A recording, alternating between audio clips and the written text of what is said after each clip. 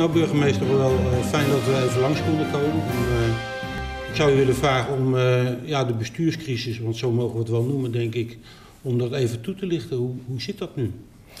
Ja, nee, het, het, is, het, is, een hele algemene vraag, maar ik zal proberen daar ehm, iets van te zeggen. Nou, laat ik beginnen dat het heel vervelend is dat het loopt zoals het loopt. en we zitten nu in een situatie dat ehm, we in een, nou, zoals we dat noemen, demissionair college hebben waarin uh, twee wethouders, wethouder Breukelaar en wethouder Blokker, uh, en ikzelf nog het college vormen. Um, en wij nu aan het inventariseren zijn welke onderwerpen er de komende tijd nog uh, over besloten gaat worden. Dat gaan wij voorleggen eind van deze maand aan de Raad. Want dat moeten dan minder politiek gevoelige ja, zijn natuurlijk. precies. Want je weet niet wat voor nieuw college er komt. En dan zou het uh, raar zijn om nu allerlei uh, nou ja, moeilijke politieke beslissingen uh, in de, aan de raad voor te leggen of als college over te besluiten. dus dat gaan we de raad voorleggen ja. einde van deze maand. en daar kan de raad dan iets van vinden. Um, en tot die tijd um, ja, bewaken wij het fort, zal ik maar even zeggen. Ja. En zullen wij de lopende zaken um, gewoon afhandelen. In de tussenliggende periode, uh, er zijn twee wethouders opgestapt, uh, wethouder Vermeer en wethouder uh, Koudstaal. Dat betekent dat ook dat die coalitie uit elkaar is? Ja, zo zou je dat wel kunnen stellen. Ja. sowieso, D66 is vorige week heeft de fractie zich teruggetrokken uit de coalitie, dus de coalitie is niet meer de coalitie. Nee. En uh, uh, nou ja, dan heb je al een minderheid, maar daar zou je nog voor kunnen kiezen hè, om ja. daarmee door te gaan. Maar inmiddels, hè, doordat wethouder Koudstaal ook zijn, uh, zijn ontslag heeft aangeboden en er nog twee wethouders zitten, hebben de andere twee wethouders ook hun portefeuille ter beschikking gesteld. En wordt er nu gekeken naar de vorming van een nieuwe coalitie. Ja. En daar heeft op dit moment de fractie van de VVD de lead in. Ja. Uh, de Bob uh, heeft aangegeven dat zij het niet voor elkaar krijgen om een nieuwe meerderheidscoalitie te vormen. Nou, dan is, is dat onderzocht dan door hen?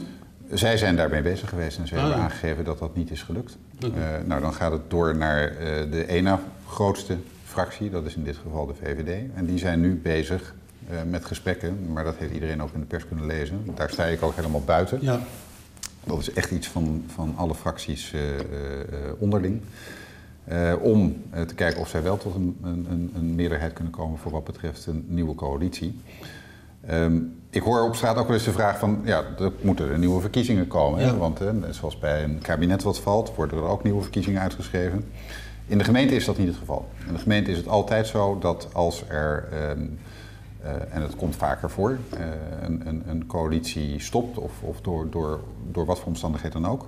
En er moet een nieuwe coalitie gevormd worden. Uh, dan moeten ze binnen de zetelverdeling zoals die er bij verkiezingen uit is gekomen, daarbinnen zoeken naar een nieuwe meerderheid. Ja. Is een meerderheid noodzakelijk? Nee, het is niet een noodzakelijkheid.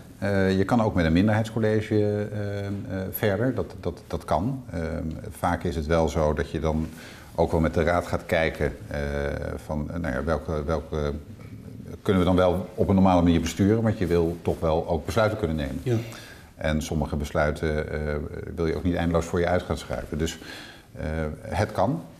nou, als je naar het, naar het, kabinet kijkt, je heeft wel een meerderheid in de Tweede Kamer, maar in de Eerste Kamer niet. Nee. Nou, als je het daar een beetje mee vergelijkt, het is best, best ingewikkeld. Ja, het is wel, je moet wat lastiger, wat meer laveren natuurlijk. En precies, precies. Meer lobbyen. Precies. Ja. Dus, uh, maar de, de, wat ik begrepen heb is uh, uh, zowel vanuit de BOB gekeken naar een meerderheidscoalitie en wordt er nu ook vanuit de VVD gekeken naar een meerderheidscoalitie. dus ik ben heel benieuwd wat daaruit gaat komen. Met de VVD erbij, wat voor coalities zijn er mogelijk om een meerderheid te krijgen? Nou ja, je hebt, zonder dat ik over partijen ga spreken, want dat ga ik niet doen. want dan maar als je kijkt naar aantallen, we hebben 19 zetels in de raad. Dus je hebt in ieder geval 10 uh, ja. zetels nodig voor een meerderheid. Ja, en, en de VVD heeft er vier. vier ja. ja. en dan kan je natuurlijk allerlei combinaties maken. Ja. Is het lastig om uh, goede bestuurders te vinden als wethouder? Voor een gemeente met de, de omvang van Baren? Nou ja, dat zou je aan de fracties moeten vragen of zij daar uh, uh, moeite mee hebben. Uh, daar kan ik geen antwoord op geven, want nee. ik weet niet wie zij in hun achterban allemaal hebben aan kandidaten. Nee. Maar ehm, het, het, is altijd wel kijken van is er ervaring? Ehm, wil iemand? Ehm, is er een, een, goede interactie onderling? Is er een verdeling van, van achtergronden. Dus het is, het is niet van een poppetje 1, poppetje 2 bij elkaar klaar. Nee. dus het is goed. En dat, dat, heb ik ook meegegeven in, in het laatste presidium wat we gehad hebben. Van, eh, kijk ook goed naar, naar mensen, naar, naar, naar, kwaliteiten, naar een mix daarvan. en ik kan niet meer doen dan dat meegeven. Nee. en partijen zullen daar zelf mee aan de gang gaan en ongetwijfeld daar ook verstandige keuzes in maken. Zijn er ook al doelen gesteld qua tijd? Nee, nee, nee. Tenminste, uh, ik stel geen doelen. En, uh, wat ik hoop is dat er in ieder geval zorgvuldig gekeken wordt en goed met elkaar gesproken wordt over de onderwerpen waar men het over eens moet worden binnen een nieuwe. binnen een nieuw coalitieakkoord, dat men goed kijkt naar de interactie ehm, tussen, tussen de personen. Ehm, ik heb aangegeven of aangeboden meer uh, om, om eventueel te faciliteren met een externe uh, informateur. Hè, om, oh ja. om, dat, om dat wat af te tasten. nou, men heeft daar geen, geen gebruik van gemaakt, men gaat dat zelf doen.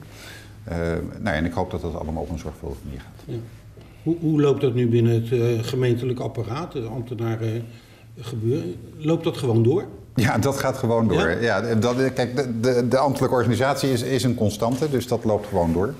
Ehm, maar ook daar heeft het natuurlijk wel een impact op. Uh, Omdat daar ook voor geldt dat er gezocht moet worden naar van, nou ja, welke dingen zetten we nu wel door en welke dingen zetten we niet door.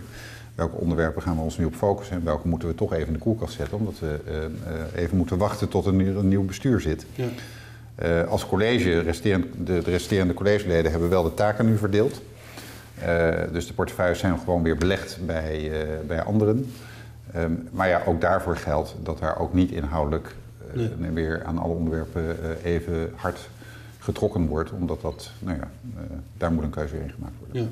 Is er nog een punt waarvan u zegt van nou, dat, dat is wel heel jammer dat dat even moet wachten? Nou, kijk, linksom of rechtsom is het altijd jammer dat, dat er een vertraging ontstaat in, in, in projecten of in, in, nou ja, in wat er dan ook speelt. Ja. En uh, het is altijd beter als je een volledige periode uitzet, ja. denk ik, um, waarin je nou ja, dingen, dat er een continuïteit in zit. En nu zit er weer een onderbreking, of zit er een onderbreking in. Um, ja, we moeten kijken hoe dat, hoe dat uitpakt. Ja, want WMO, dat, dat kan eigenlijk geen uitstel dulden. Want dat gaat ook gewoon door. Nee, maar de, de, ook daarvoor geldt, de besluiten die daarin genomen moeten worden, die zullen ook genomen moeten worden. Ja. Of die zullen ook genomen worden. Die, die nemen we ook.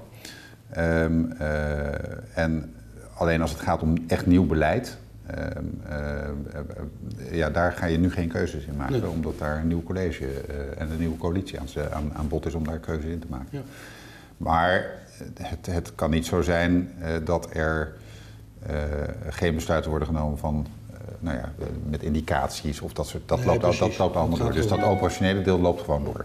De burgers hoeven daar zich geen, geen zorgen over te maken. Nee, dat, dat, dat zou niet het geval moeten zijn. Nee. Of dat moeten ze ook gewoon niet doen. Nee. Nou, heel erg bedankt voor het, de toelichting. Graag gedaan.